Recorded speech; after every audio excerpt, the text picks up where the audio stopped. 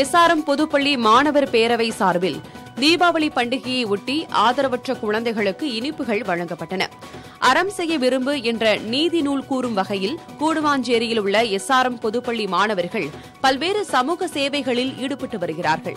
குறிப்பாக ஆதரவற்ற குழந்தைகளிடையே மகிழ்ச்சியையும் உற்சாகத்தையும் ஏற்படுத்தும் வகையில் அவர்களுடன் நேரம் செலவிடுகின்றனர். அதன் தொடர்ச்சியாக சிவானந்த குருகுலம் ஆதரவற்றோர் இல்லம் மற்றும் ஐடிஎம் தேவாலயம் ஆகிய மூன்று அமைப்புகளுக்கும் சென்ற பள்ளி மாணவர்கள் தீபாவளி இனிப்புகளை பகிர்ந்து கொண்டனர்.